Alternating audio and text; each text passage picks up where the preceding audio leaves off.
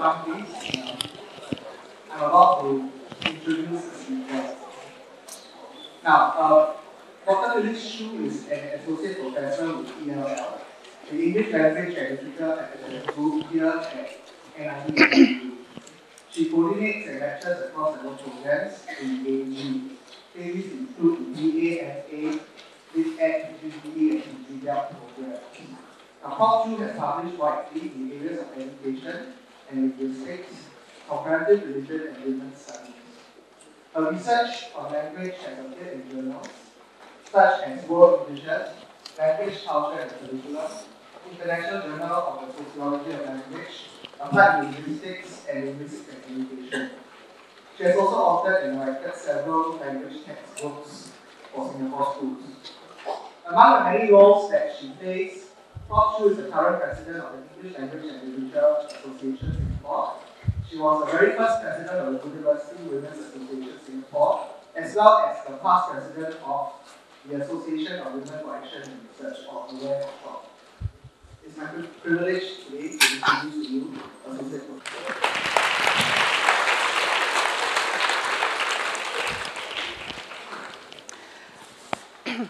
Thank you for the uh, introduction. Now, um, let me start. I will do a PowerPoint presentation because of the vast numbers. And then I will speak as the slides come on. I think this is the best way for mass audiences.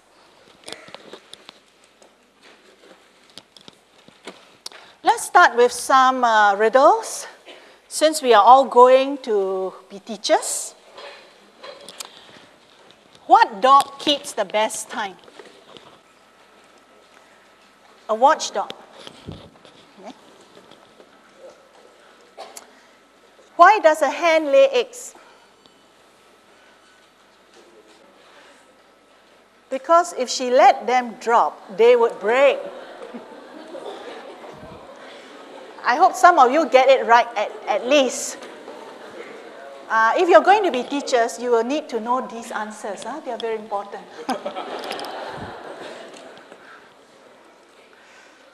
what makes more noise than a cat stuck in a tree?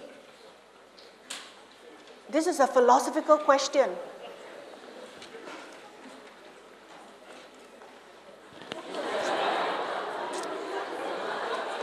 Of course, huh? two cats stuck in a tree. Okay. Um.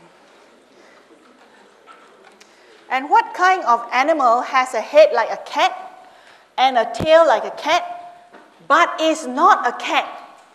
Let's see who's good in logic. I believe you all graduated from NUS. What kind of animal?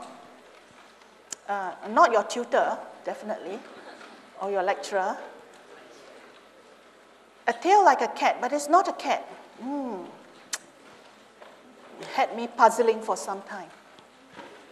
A kitten.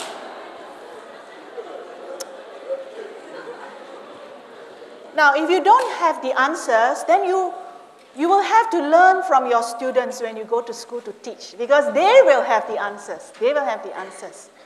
Okay, children nowadays are much cleverer than adults. Huh?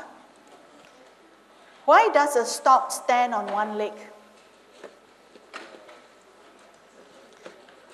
Because if he took two legs off the ground, he would fall down. Simple. And what is the last thing you take off when you go to bed?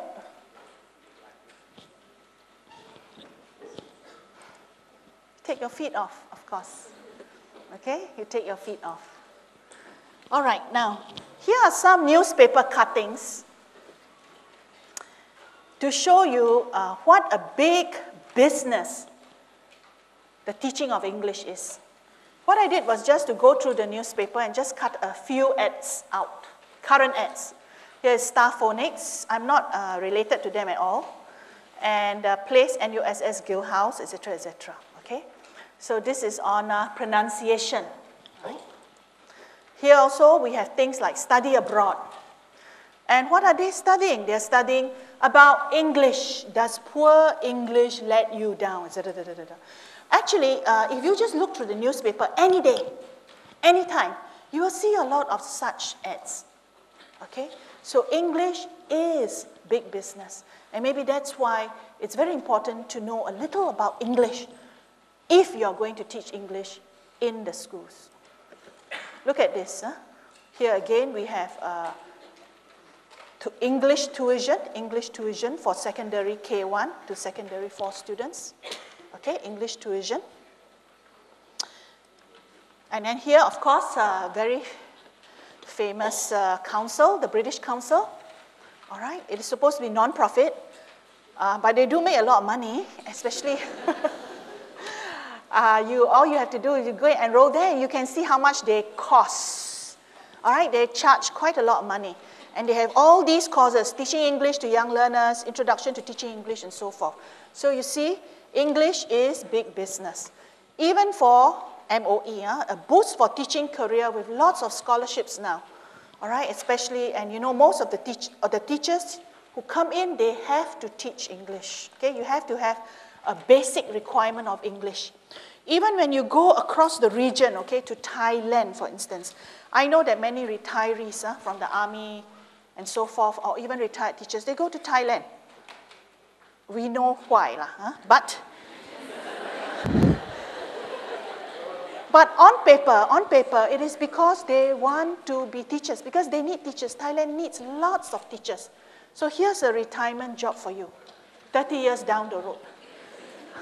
I'll be there faster than you. Lah. Okay? Even here, okay, let's say you don't like Thailand, uh, too near, lah. you want to go somewhere else. Okay, okay, then why don't you go to US? Look how desperate they are. The US hires teachers from the third world. Okay? math, science, English, all right? Look at this. British schools want teachers from Singapore. So British team will come here and they'll come and ask me, uh, Dr. Chew, do you know anyone? Let us know because teachers in shortage in England, all right? So uh, teaching, somehow there is a big shortage all over the world. It's just like nursing, okay? And of teachers, English also is very, very uh, in demand. But of course, of course, uh, if you take a job overseas, you must know why. How come there are so many jobs overseas? You know why, lah? Because teaching has become a more dangerous occupation than the army. Okay, now uh, after the introduction, which I devised for the latecomers who are still coming in, we now must start on something more serious. So please, no more laughing. The first part is on history and spread. So I'll be giving you a history lesson. I'm sorry, I apologize first. Huh? History lesson. You know what history lessons are like. And uh, the first part is history lesson, first hour, and the second hour will be on linguistic theory. Another thing which, which is also quite heavy going, which is on theory. So let's start with history. Let's start with history. Okay, the history of English to put you in the mood so that when you take English, you kind of know what you're in for.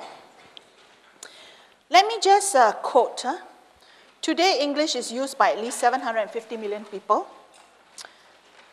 Uh, I think now it will have reached uh, 1 billion because this book was some time ago. And barely half of those speak it as a mother tongue. Okay? Now, barely half of those speak it as a mother tongue. This is very unusual. Whatever the total, at the end of the 20th century, it is more widely scattered, more widely spoken.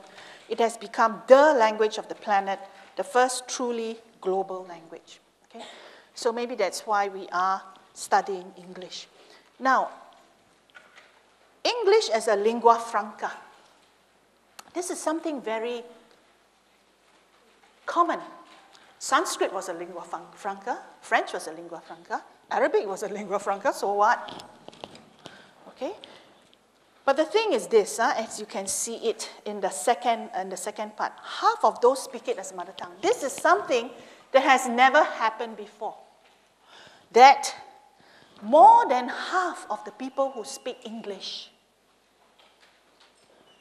do not speak it as a mother tongue. You see? So, in other words, there are more non native speakers of English than there are native speakers. Now, this has never happened before in linguistic history. Lingua francas, there have always been, and there will always be. Okay? But for the first time, we have a very unusual phenomenon. We never had a lingua franca where the non native speakers overpower that of the native speakers. What are we going to do? How does it affect us? How does it impact us? What does it mean in terms of, you know, control of the language? Why then does do we, you know, uh, why then does the control of the language lies in the West, in England or the British Council? If, if there are more than more than more non-native speakers than native speakers, why are the majority led by a minority? So these are the questions that are unique for this century. They are very, very unique because it's never happened before. Now, the next one English is a language, the language on which the sun does not set, whose users never sleep. As you know, it's all over the place. Some people say, hey, 1 billion, nothing great. What about Mandarin? Hey, Mandarin got 1.2 billion, you know. So English is not the main thing, yes? But Mandarin, where are the majority of the speakers? They are in China. You see? And the majority of the speakers are native speakers. So even though you may have more than 1 billion, in terms of the influence, okay, in terms of the impact on the world, is very, very much less. And that is why, you know, you, you're coming here for this content upgrading course on English. You know of the Speak Good English movement. It is very important that we speak and we write English well because, because of these statistics. Okay, because this is the language that will give us the competitive edge. Okay, in anything that we do. And especially if we are going into biotech, into financial center where the level of English that is needed is a very high level. It's not just uh, like a market level you can get along. Okay, the level of English that we need to go into such fields, you know, uh, we need to be very, very competent in English. Okay, let's go into the history and spread of English and give you the context. And then later we'll go into the theory. I'm going to answer three questions. Where did English come from? What did it look like earlier? And what have been the major influences? You have your notes, so if you want to take, take down some uh, notes, you're free to do so. If you don't have your notes, please uh, try to get it. And the notes is a summary of today's lecture. There are only two sides. Okay, there are only two sides. Okay, so we do the first side in the first hour and the second side in the second hour. Okay, these are scripts. Okay, I just give you the world view. Huh? We had the Karada script, we have the Chinese script. This is the Arabic script. And now we go into English, okay? Five major linguistic influence on English. And you can see from your notes here, so that you can. There are lots of uh, linguistic influence on English. Okay? The first is the Celtic influence, Celtic. Okay, the Celts. This is the pre English period. Now, that means English was not spoken. The vernacular of the British Isles was not English, it was actually Celtic. Okay, it was actually Celtic. And the Celts came from probably Belgium or some of the Europeans, you know, the northern European states, and they probably migrated to England. Then we had Latin. Okay, then we have Latin. Latin came because Rome, the Roman Empire, invaded Britain. And so Britain was under the Romans, okay, for about a few hundred years. Okay, that was about the first century AD. Now, when the Romans went to England, the language, the official language, like in Singapore, our official language is English, Tamil, Mandarin. So in England, the official language at the time of the Romans was Latin. Latin is very important because the English language, as an inflectional language, takes a lot from Latin because Latin is also inflectional language. We'll do that later in the second half. What is the meaning of inflection and so forth? Okay? So that's Latin. So for 500 years, Latin was spoken. That's why we have Latin Mass, you know, and we have lots of textbooks on Latin. Why? Universities such as Oxford and Cambridge, they have Latin departments. Why, if you read novels written uh, two, three hundred years ago by the uh, great English writers, you know, they always refer to Latin because, because of the past. And then we have Anglo-Saxon. Anglo-Saxons from Germany, loss of migration to England. So we find that German is a cousin, cousin, linguistic cousin of English. Okay? So if you are German, you can learn English quite easily because we are cousins. Just like if you are Tagalog, Filipino, you can learn Malay quite well because they are cousins. They're cousins, Polynesian languages, huh? they're cousins. We are uh, Korean, you can learn Japanese quite well because you're cousins, you're related. Right? So this is Anglo-Saxon. And then now we go to Scandinavian. These are the influences. Remember uh, from Norway, okay, the Vikings. They also settled in England. And then we have the French. So all these Celtic, Latin, Anglo-Saxon, Scandinavian, French, they will influence the English language. That's why we're studying the history. Many of the words in English comes from, from, from, from these uh, influences. You can trace, you can trace them. And the French, because the French conquered England also for a few hundred years. About from, from about 1100 to about uh, 1500 roughly. Okay, a few hundred years. Britain was under the French. Okay, and therefore, a lot of words in England, in English, is derived from French.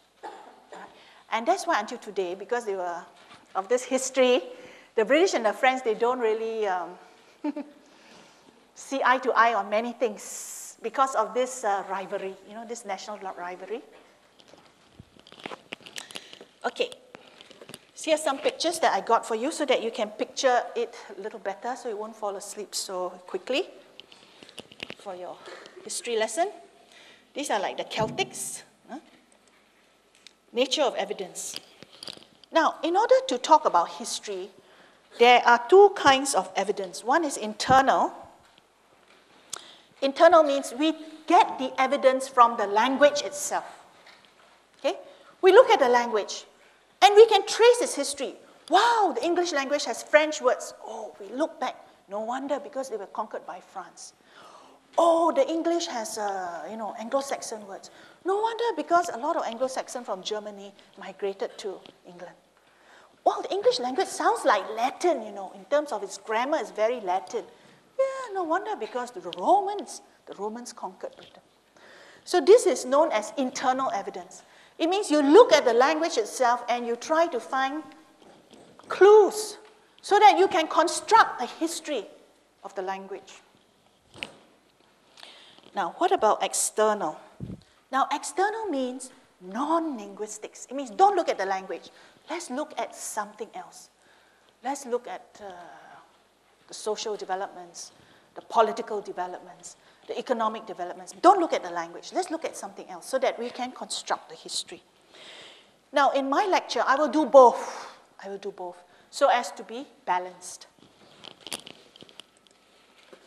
Okay, now, I give you some data here, and you can see uh, the English language in relation to Latin, to Latin. Okay? Okay. So nominative, accusative, genitive, dative. This is the Latin system. So that's why in English, we have the words like this. Subject, object, and then here genitive, of the Lord, to the Lord, so forth. Look at this again. He is nominative, at it. I add him, him is accusative. I add his apple is genitive, and dative, I gave the apple to him. Now you'll be doing grammar. you'll be doing grammar the next three days, I know. Don't worry, they're not going to teach you Latin. Huh? But you will kind of understand how come the English language has this structure because they borrow, borrowed it from Latin.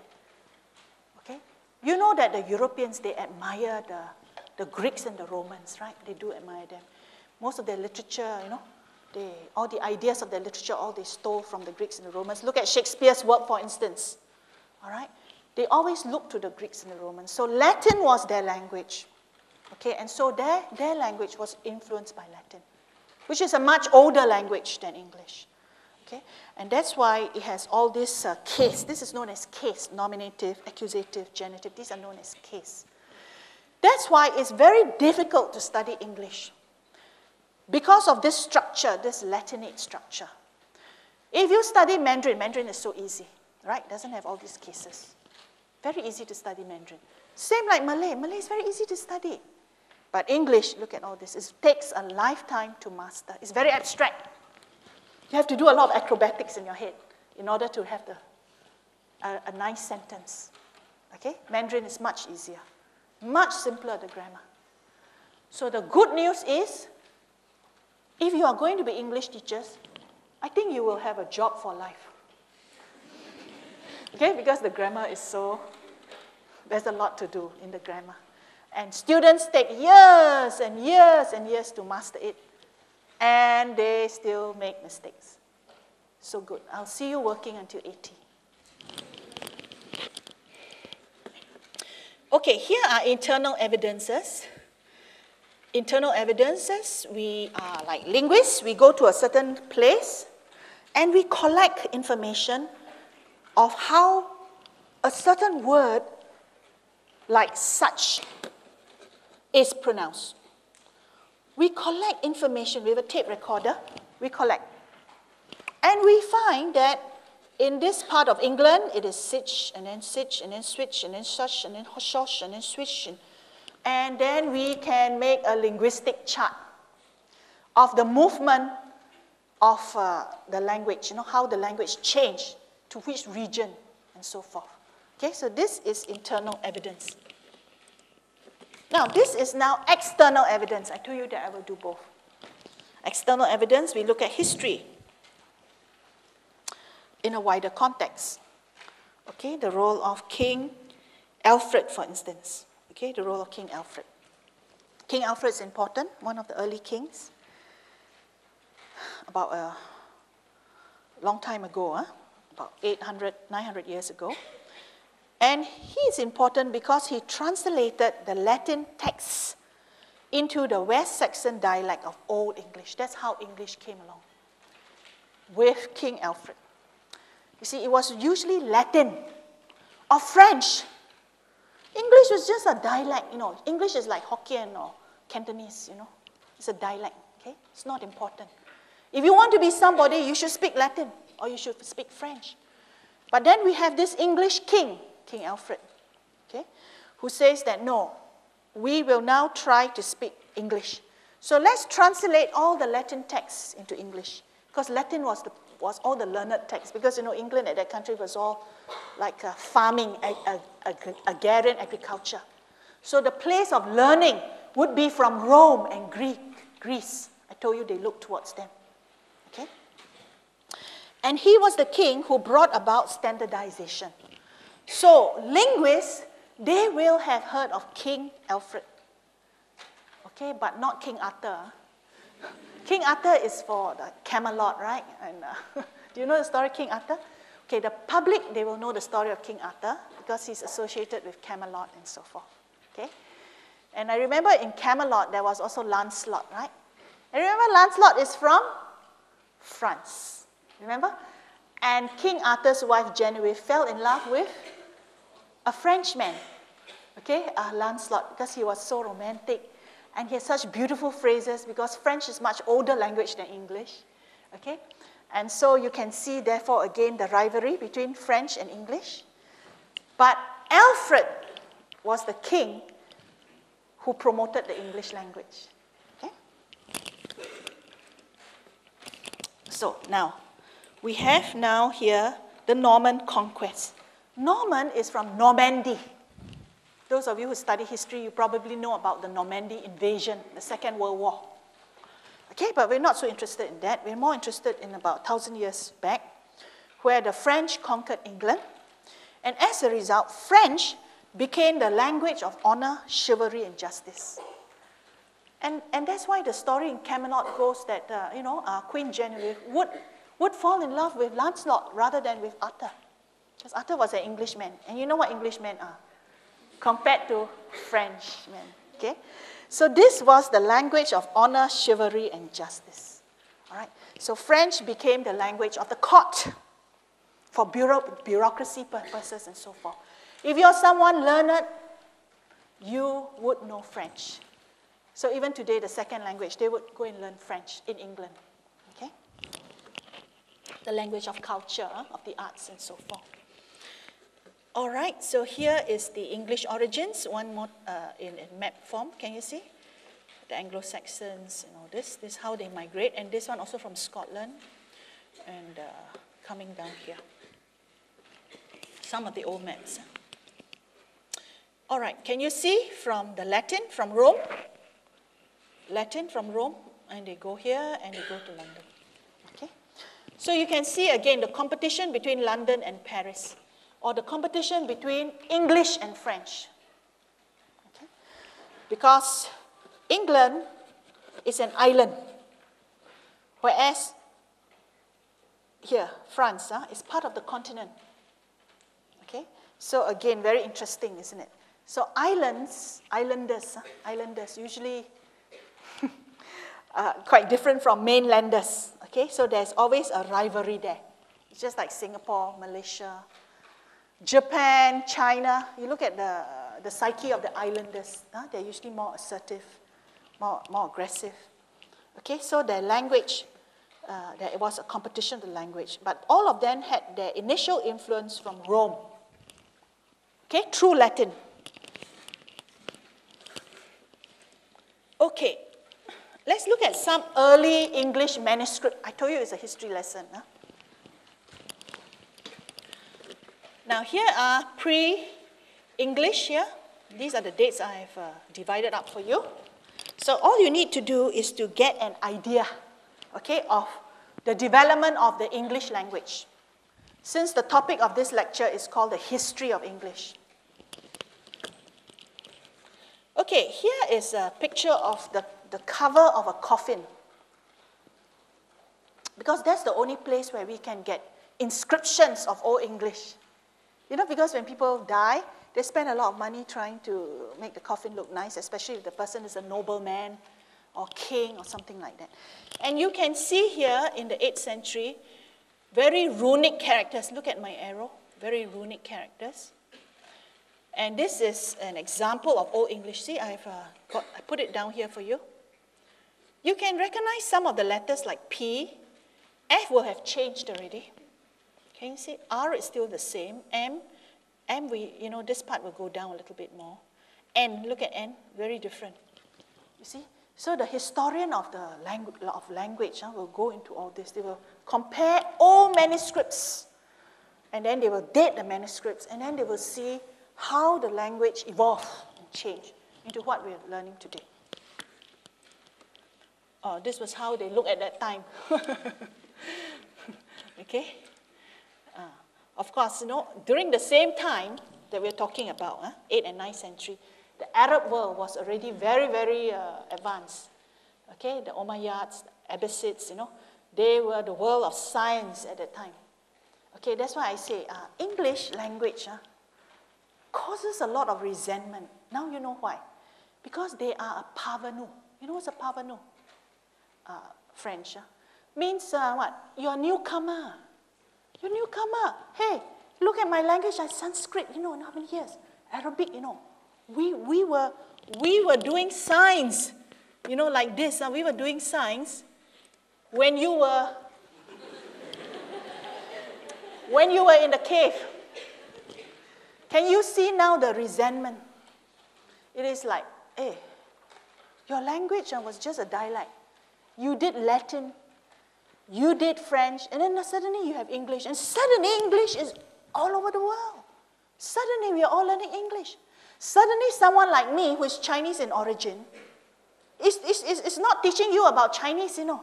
Is standing here teaching you about English. Okay, let's go back to manuscript. Huh? Sometimes I bring in some commentary to make it to give you a wider context. Because when you have the context, you can understand quite a lot of things. And then becomes interesting and real for you. So here, again, uh, the Old English, quite different. You can see there's no spacing, no spacing. Spacing only come much later. Look at this. No spacing, no punctuation. Very good, no? so you don't have to make punctuation mistakes. Uh, right.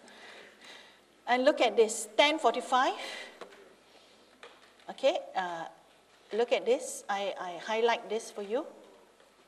At first, the G uh, was not closed up. But now, you see, at first it was not closed. Now it's closed, you see. So language evolved. These are the internal evidence. Internal evidence means looking at the scripts themselves and seeing what, what are the changes. Okay? These are the old books. Can you see they are very rare, very precious. And the old books are all written by hand.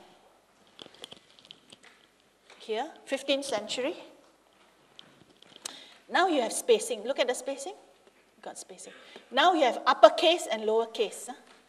Can you see uppercase and lowercase? Before that, there was no uppercase and lowercase. All right? So this is actually from Chaucer. Chaucer. If you go to the university and read literature, usually they will ask you to learn Chaucer.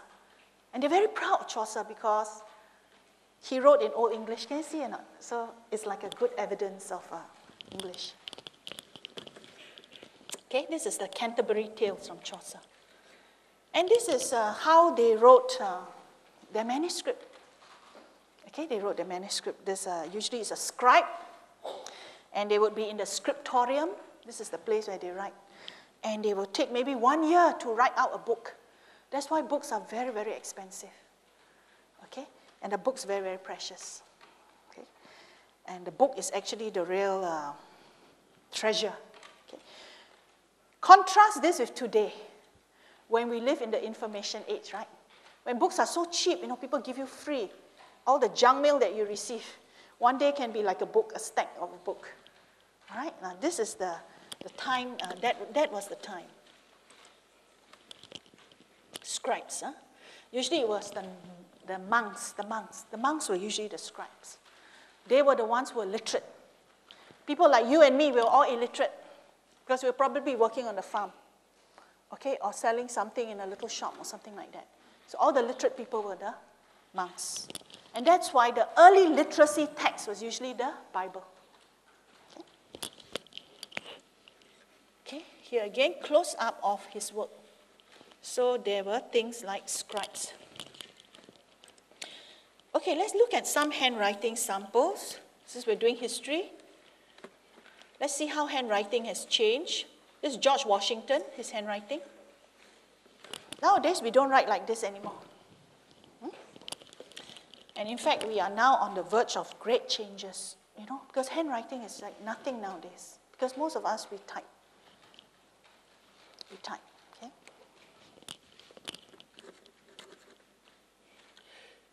Uh, but handwriting is important because actually, you know, someone who was writing the history of uh,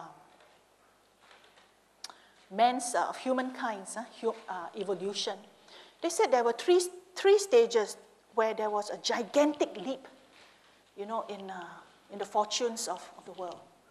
The first was when we learned to write like this, when we learned to write. Because when you learn to write, it means that you can communicate with someone without having to be next to the person. Because the courier can carry it for you, the, the letters and so forth. And you learn to write, and then you can transmit what you know to the next generation. So that was the first giant leap. Okay? And they said that the second giant leap was the invention of the printing press. Because then you don't have to take one year to write a book, or you have to take one whole day to write a letter, or whatever it is. You know, you can just print. And that was by William Caxton. Later we'll go into that, the printing press.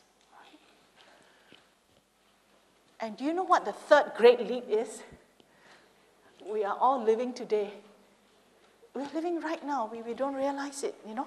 That means it's going to change the world drastically. It's going to change the world drastically. We're living in a period of great changes. It's no longer the invention of handwriting, of, of writing, no longer the invention of printing. It is the the computer, the computer, the broadband, isn't it? The broadband, the internet. That's going to change everything. It's going to change the way we write. It's going to change our grammar. Okay? It's going to change the way we read. It's going to change the way we organize our text.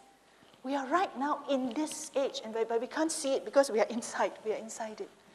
So if you look at the vista of the history of the language, you can see these millennium points.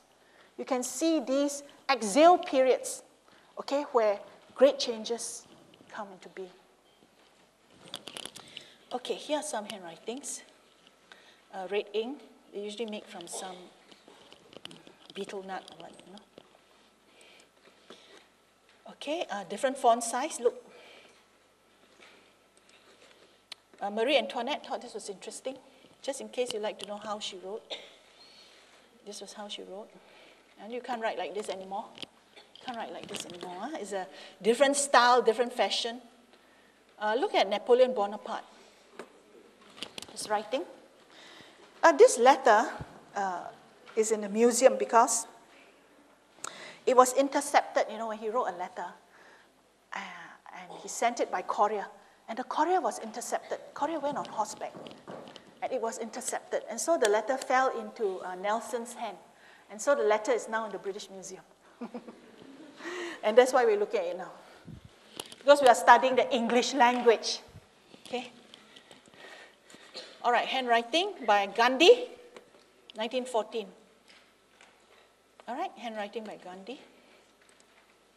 Uh, this is, of course, Arabic uh, script, just to show difference. Now, let's go now to modernity the Renaissance and the English language.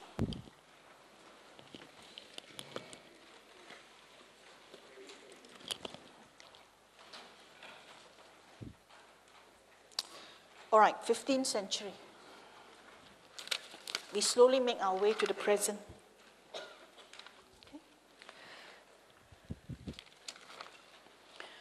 Okay, modernity is, we can date it from the 15th century right? because that was the time of the Renaissance. The Renaissance. Okay, I'm following the historical interpretation of mod modernity. We are supposed to be living in the postmodern period, no longer modern, you know. At that time in the 15th century, they were saying modern, uh, modernity already. So if you think you're modern, think again. Okay?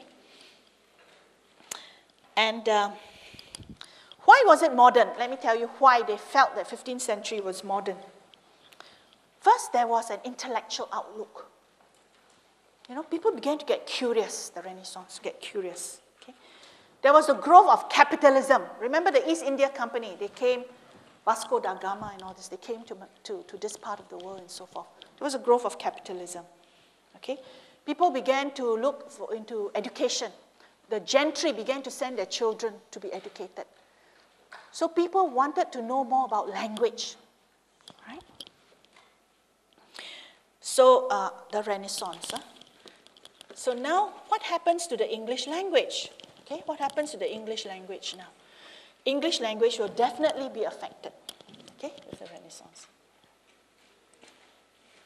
Now, this is, this is what happened to the English language with the Renaissance. Four things. One is selection. That means they now wanted to choose a standard language. This happened in England huh, at that time, 15th, 16th century. Because you saw that map just now. Different parts of England pronounce words differently. So which one shall be the standard?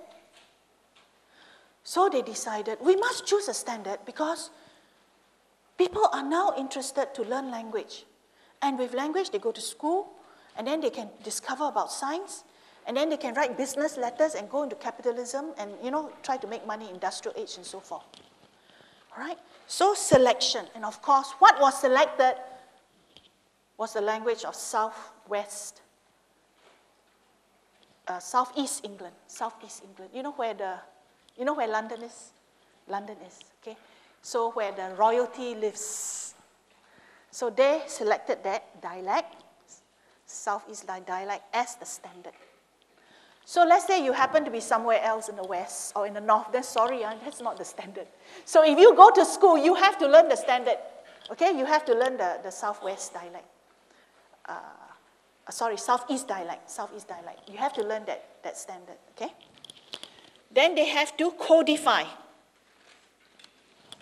Okay, codify means to standardize the spelling. People are spelling all kinds of ways.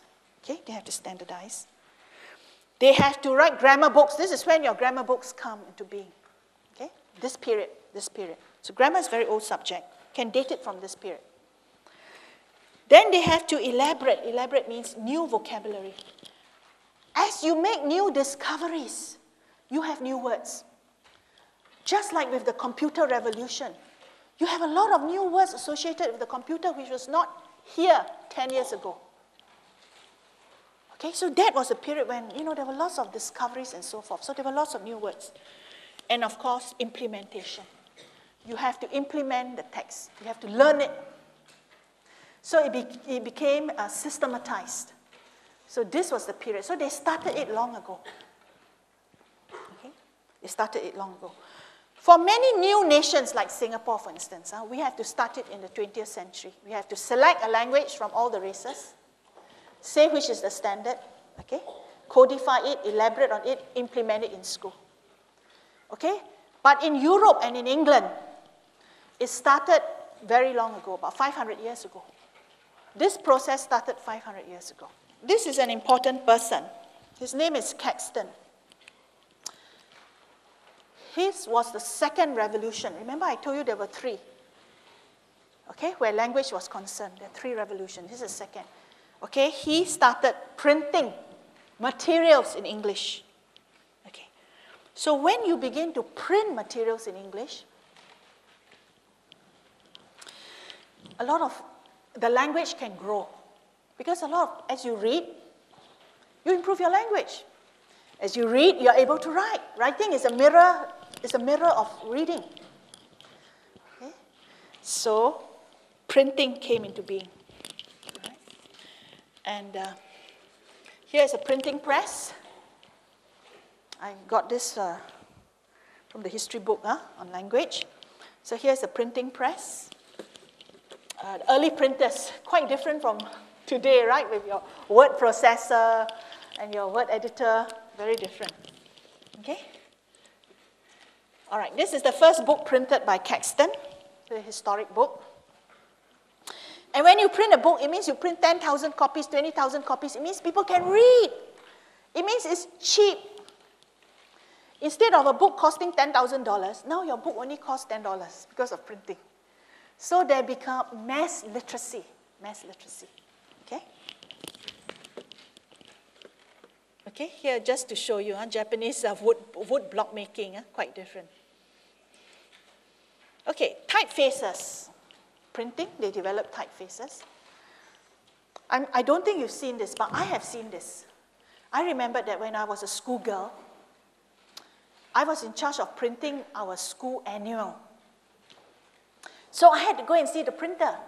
And I remembered going to the printer's shop, and I saw he had all these things. That was in the 60s, you know. He had all these things. So actually, my generation lived to see the age of Caxton and the modern age, you know, the age of computer, where printing is done by computers. Okay, because I remember seeing all this when I visited the printer in trying to print the school annual for my school. I remember seeing all this, okay, in the printer shop. And I remember seeing this also at the printer shop. They had a lot of typefaces, and they would take one and take one. You take a tweezer and take one and take one, you know, and then you you, you make it into a block. It's very laborious. Okay? Just, just to show you the printing going back. Yeah, I remember this. I remember this in the 60s and the 70s. I remember this. When you go and print your book, they would have this. Now don't have already. A typesetter is now uh, obsolete. Now you don't have a job as typesetter anymore. No, no such jobs anymore. Ah, I remember this you know, the shop has a lot of cases where they have all the different types of prints. I remember this. Okay, let's get back to history. Renaissance, Henry VIII. Showed you this picture so that you can get back to the period.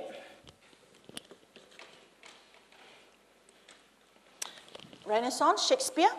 This is the period we're talking about. And now we go to the Reformation. Okay, now this is the period. Now, the Reformation, 16th, 17th century, uh, when you say reformation, what do you mean? It means reform, right? From the root word reform. Reform from what? Reformation. This is the period of the breaking away from the Roman Catholic Church. Because remember, Britain was very influenced by Latin and Rome. They always looked up to Rome. But you saw the picture of Henry VIII just now, right? And you, you know the famous story yeah, where he, he wanted to marry another wife, right? And so he had to break away from the Catholic Church because the Pope says that you're not supposed to marry another wife, okay, in the Catholic faith. So he says, okay, then I'll form the Anglican Church.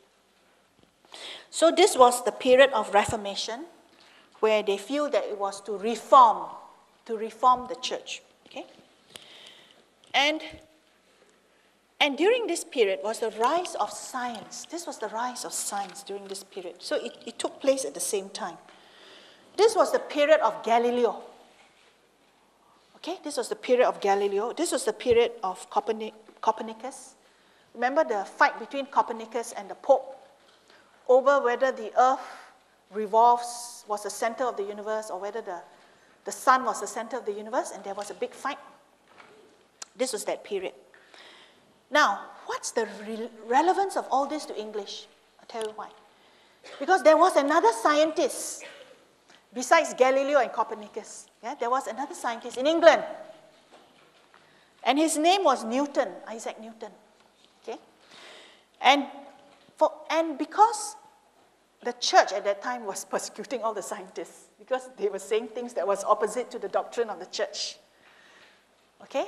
So they were censoring their works. Now, Newton, therefore, did not publish his work in Latin which was, at that time, all the scientific works were published in Latin. He published in English because Caxton was able to publish his works for him. So Newton published his famous optics, you know, his, his work, Optics, was published in English. Now, when you have a great scientist publishing in English, you know what it means or not? It means that anyone who wants to learn science has to learn English. That's what it means. It's just like today. When the latest works in science are published in scientific journals, not in French, not in German, not in Japanese, but in English. Okay? The latest works in science, in biotechnology, in nanotechnology, okay? In all the latest uh, cutting edge subjects. What does it mean? It means that if you want to be at the frontier of knowledge, you have to learn English. So when the scientists publish in that language, becomes very significant. You see? So now we have this Newton publishing in English. All right? And we have Royal Society. At that time, that was the journal, of the Royal Society. That's for the scientists. It was all in English. Okay? Before that, it was in Latin, you see? So now, people begin to publish things publish science in English. So as a result, English began to be popular. It began to be in demand. You see, uh, let me just sidetrack a bit, just to explain this significant point. You know, before the Second World War, English wasn't as uh, popular as today. Because the language of science before the Second World War was German. German. So if you wanted to be a top scientist, you have to learn German. If you want to be at the cutting edge of anything, you have to learn German. Right? But because of the Nazi mm, persecution of the Jews, and it so happened that many of the Jews were the top scientists in Germany. what happened to some of the Jews? They all ran away to, they ran away where? They ran away because of the persecution, ran away to America. And as a result, the language of science shifted from German to English. You see? You see, so sometimes through external evidence, history, the, the, the language history is affected by external factors beyond its control. Okay? So that is why after the Second World War, anyone who wanted to be a real top scientist, you have to learn English. You can't wait for the translation. If you wait for the translation, it will be take another one, two years. By which time, that's no longer the cutting edge, my friend. If you want to know where the cutting edge is, you have to attend the top conferences, which are all in English. You have to read the top journals the minute it comes out. Oh, that's the cutting edge. So in order for me to, you know, to do even greater things, I must push the edge. I must push the edge. That's how you win the Nobel Prize. You push the edge. But in order to win that prize, you must know where the edge is, right? If you're going to wait for interpretation, uh, uh, sorry, uh, it'll take too long because by the time you interpret, uh, some, something else has been discovered already. Okay, so this, this, this is what is, this is the meaning of the world language. Okay, this is the place of English today. Okay, so the government is trying to spend a lot of money to, you know, to, to have really good uh, English teachers and to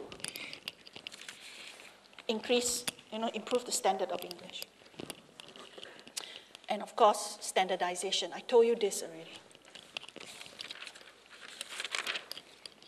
Okay, we are coming to the, almost the end of history. And then this is 18th century, the Reformation. This is like our Starbucks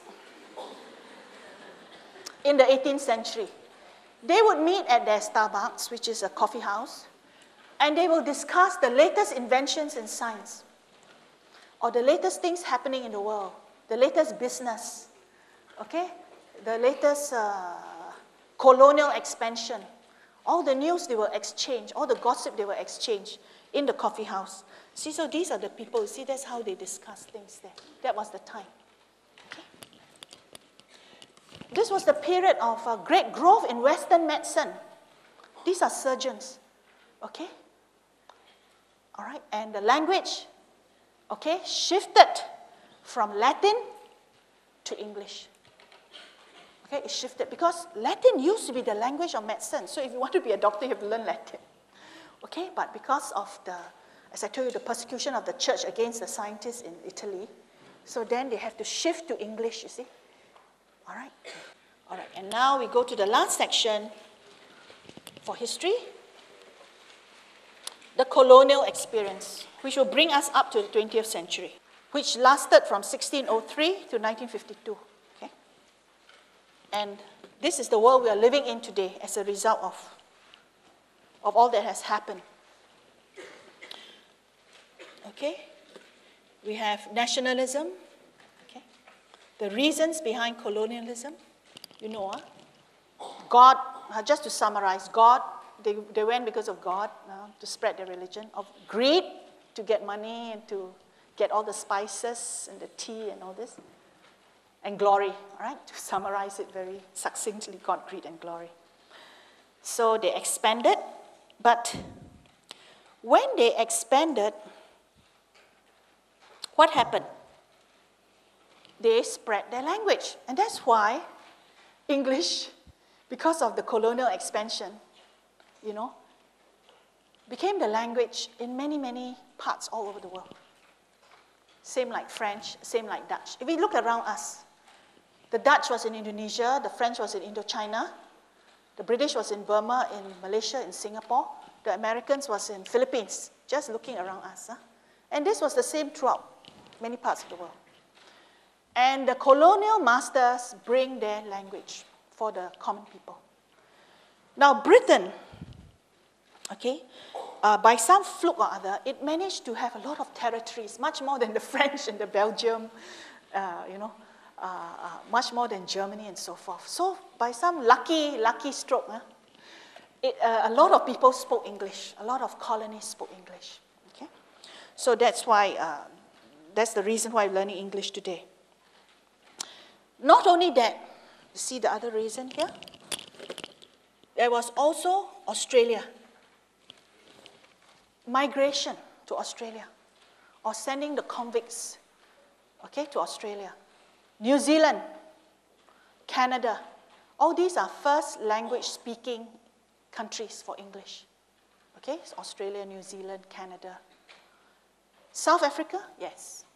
These are also migration or just sending out all the, the people who had no jobs, they all went, went to these places. Okay? So the language spread all over the world because of the colonial experience. West Africa. Okay, this is through uh, slavery. Slavery. So a lot of, uh, because of the slave trade. Okay. Oops. All right. And then, of course, US. Right? US also spoke English. Again, because of migration and then the American Civil War. And then they broke away from England. They also spoke English. Okay?